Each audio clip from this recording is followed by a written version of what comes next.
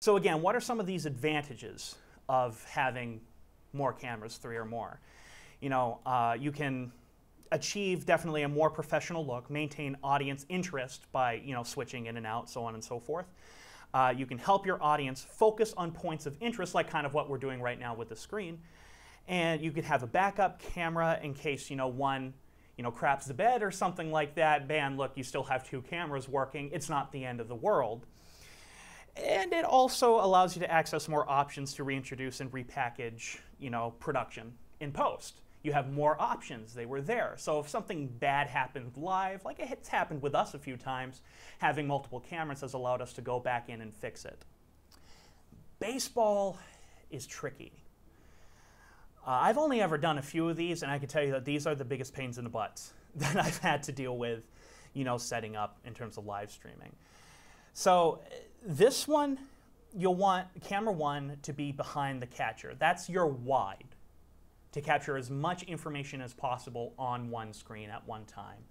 Camera two is behind first base to get one side of the, uh, the field, and then camera three is behind third base to catch the other.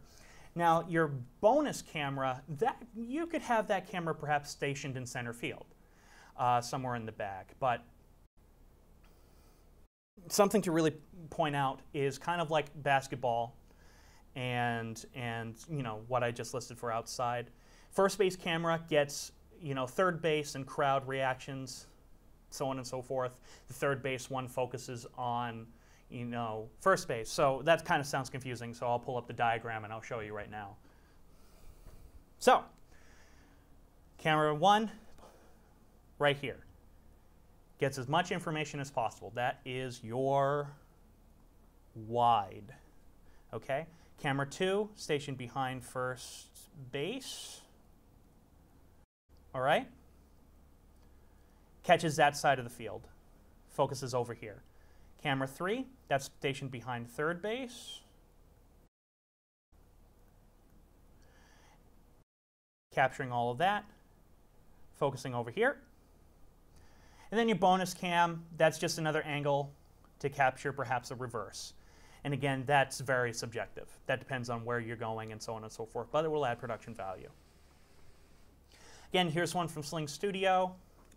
Pretty basic, and again, that's all going to be linked in the blog post after for you to check out. That's all readily available.